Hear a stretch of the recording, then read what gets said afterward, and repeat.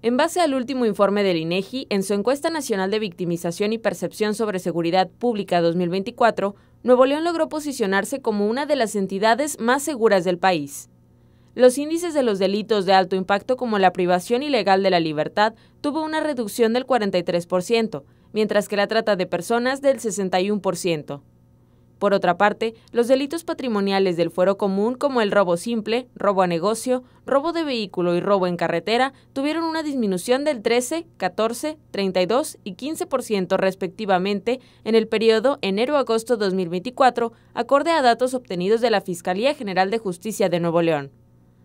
Las ciudades de Nuevo León promedian 43.5% en cuanto a la percepción de la inseguridad, encontrándose por debajo de la media nacional de 59.4%, según los resultados de la última encuesta nacional de seguridad pública urbana del INEGI. Además, se atribuyó el primer lugar a Fuerza Civil como la policía evaluada con el mejor desempeño a nivel nacional y el segundo lugar en confianza.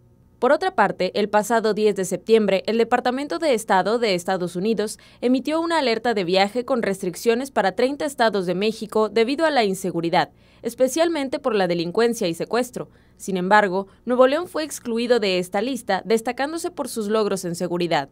Esto ha contribuido a que Nuevo León se posicione como el mejor estado para invertir, hacer negocios y atraer turismo, además de contar con una excelente conectividad.